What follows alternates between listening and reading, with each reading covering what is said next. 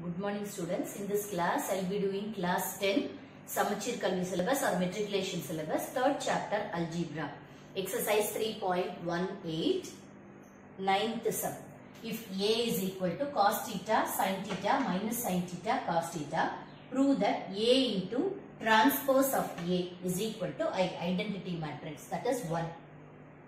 The diagonal we have to get 1. Like that we are asked to prove it. So first A is given already. So transpose of A will be rows and columns will be interchanged. So here cos theta sin theta that is in the first row will change it as first column.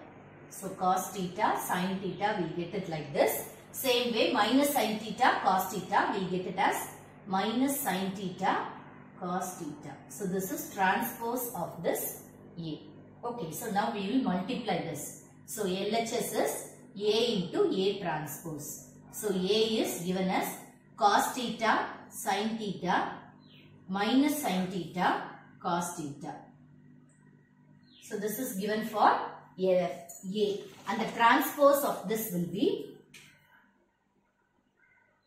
cos theta minus sin theta and sin theta cos theta.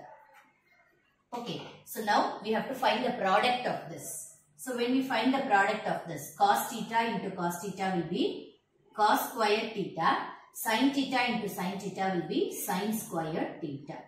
Then cos theta into sin theta will be minus sin theta cos theta and sin theta cos theta will be plus sin theta cos theta.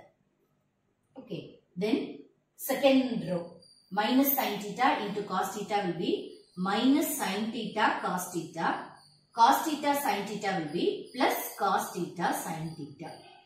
So minus sin theta into minus sin theta will be sin square theta cos theta into cos theta will be cos square theta plus cos square theta. So when we simplify this cos square theta plus sin square theta is 1. Then minus sin theta cos theta plus sin theta cos theta will become 0. Same way here also minus sin theta cos theta plus cos theta sin theta will become 0 and sin square theta plus cos square theta is 1. So we get the identity matrix that is the thing we are asked to prove. So that is the RHS value. Okay, next.